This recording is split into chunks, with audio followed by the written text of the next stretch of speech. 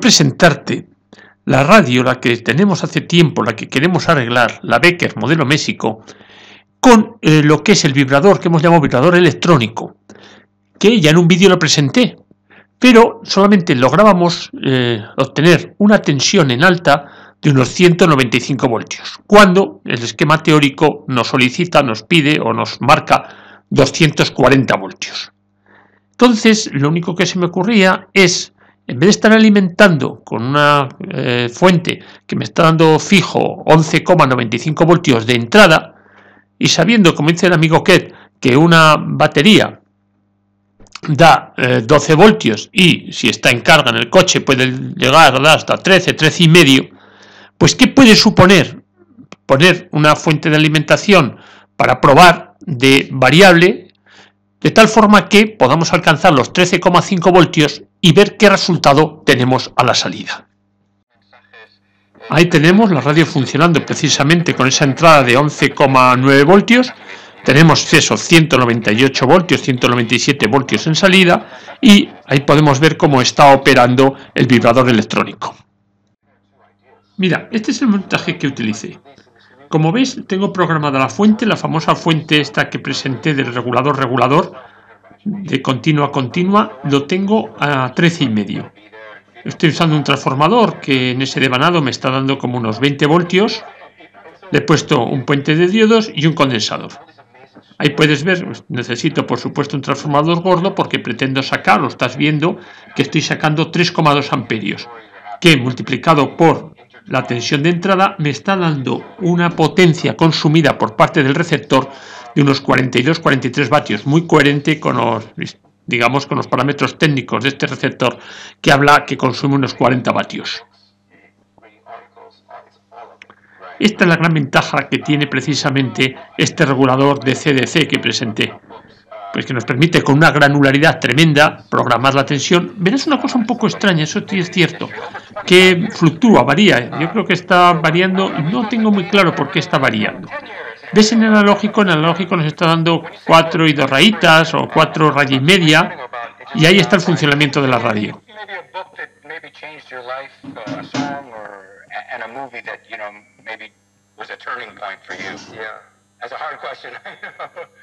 But you can also get people to shut down because they're like going over heads, right? right? Well, this is, you know, yeah. I wanted, because we wanted to pick your brain yeah. too, because uh, now that we've got you here in Madrid with us. Well, I would say that for me, I, I, the movie that changed my life when, when I was a kid was To Kill a Mockingbird. Okay. Because it had um, this idea we, we Estamos a una tensión de salida, en, digamos, si dijésemos en digital, unos 220 voltios. Bueno, pues no eran 220. Si lo miras exactamente, en el voltímetro digital son 215. También con esto te quiero demostrar lo exacto que es el analógico que estás viendo. Es el que construimos y tiene muy muy buena exactitud midiendo con tensiones continuas. En alterna ya comenté que no era tan exacto, pero en continuas es súper exacto.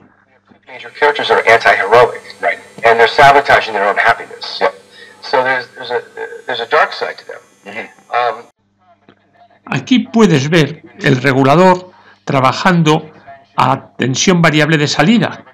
Pero la gran ventaja que yo tengo con este regulador es que si me pasase, lo tengo programado que en 14 corte, que es una gran ventaja. Por lo tanto, no tengo que tener esa precaución, eh, siempre se tiene, bueno, se tiene, pero si sé que si cometo un error, que si me desplazo demasiado o le doy demasiado al botón a la derecha, cortará automáticamente. Has visto que con 13 y medio tengo 21, no, perdón, 218 voltios continuos de salida.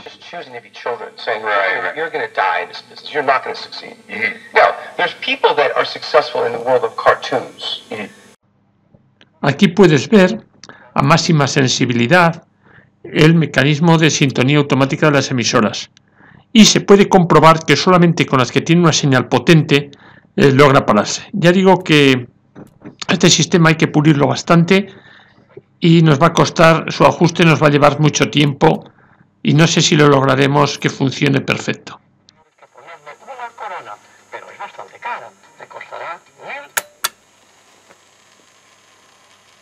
Realmente estamos ante una propuesta muy distinta, con mucha personalidad y por esto...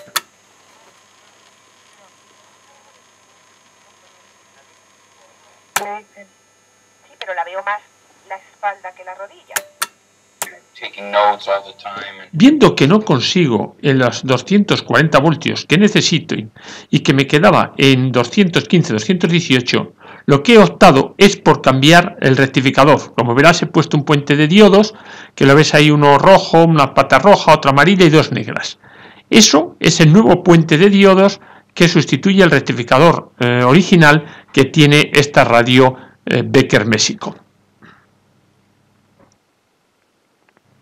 Ahí puedes ver el puente que te he hablado.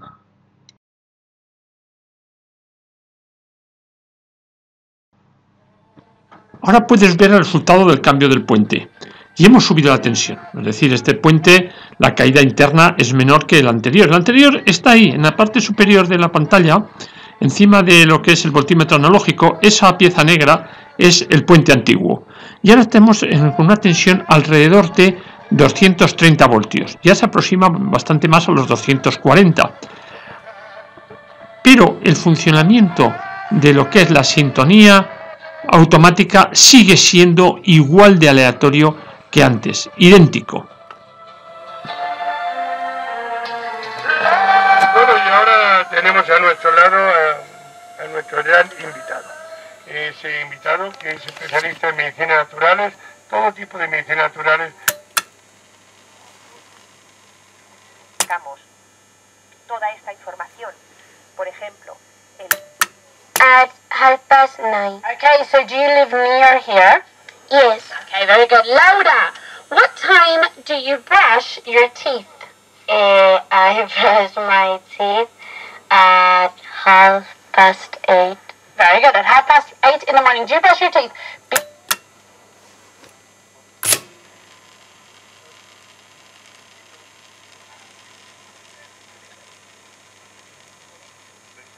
nuestro destino. La suma de toda la fecha indica cuál es el...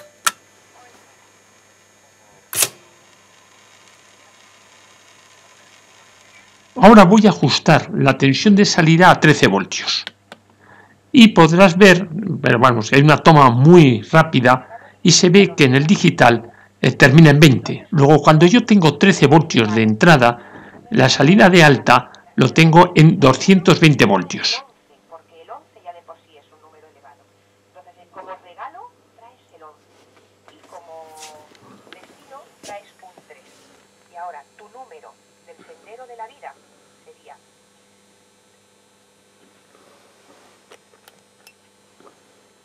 después de un 5, un 5, como Ajustamos el regulador a 12 voltios y en la salida veremos que tenemos una tensión de 205 voltios.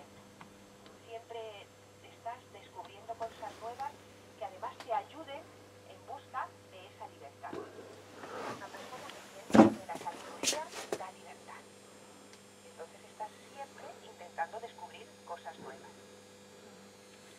No te gusta que nadie eh, te restrinja. No, te gusta expresarte sin censura. Cosas nuevas. Todo lo nuevo Ajustamos la salida del regulador a 12,5 voltios y tenemos una salida de alrededor de 215-213, alrededor- en ese entorno, 213-215 voltios. sacar a la luz un poco tu, tu sensualidad y otro día te viste muy ancho, muy ancho, ¿sabes? O sea, te gusta la variación. Es el número también de la primavera, del renacer. El número 5 es el número que está en el centro, entre el 1 y el 10. Y es Bueno, ahora hay que hacer un resumen de todo lo que hemos visto. En primer lugar, quiero incidir y hacer hincapié en lo bueno que es este regulador, el DP50V5A. Habrás visto que está sacando 3 amperios, eh, 3 amperios, 3,4 y sin problema. Sí que es cierto que fluctúa un poco la tensión y no tengo claro por qué hay esa fluctuación de la tensión. Pero bueno, ahí está, son unas fluctuaciones alrededor muy próximas a, de alguna forma, a la tensión que tengo programada o a la tensión que yo introduzco en ese momento en tiempo real. Y ahora vamos a, ver los resultados, las diferencias que he obtenido. Primero, eh, sabéis que yo estaba usando lo que era una fuente de alimentación que daba 11,9 voltios, pero fijos.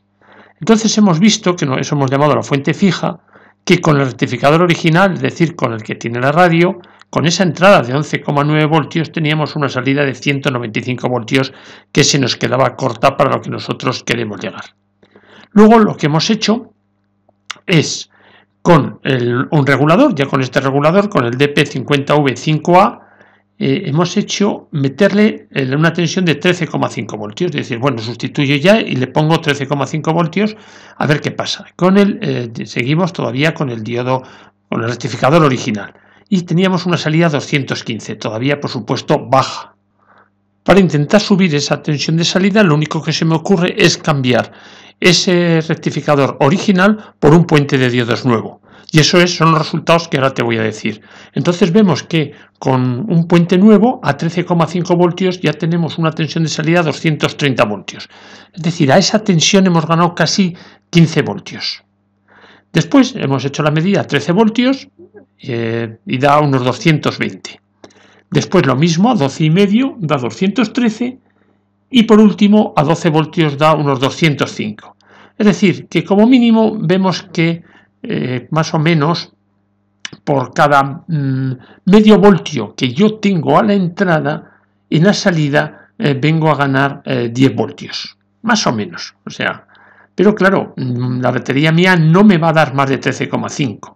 Luego yo considero que la máxima tensión que voy a poder obtener en este receptor con todo este proceso que he hecho, o sea, es el proceso, ten en cuenta de ponerle un vibrador electrónico. Y teniendo en cuenta que la batería me dé 13,5 voltios, tendré la salida, esa salida en alta para alimentar las placas de la radio, 230 voltios. Todavía se me quedan 10 voltios por debajo de los teóricos, pero de momento vamos a trabajar con, con esos elementos. Y la única duda que ahora me queda en esta reparación de este receptor Becker modelo México es eh, hacer una forma determinística y no aleatoria esa sintonía automática de emisoras. Eso me queda y todavía recordarás que la M no va del todo bien, así que todavía tenemos tajo por delante y espero que este te haya gustado. Muchas gracias.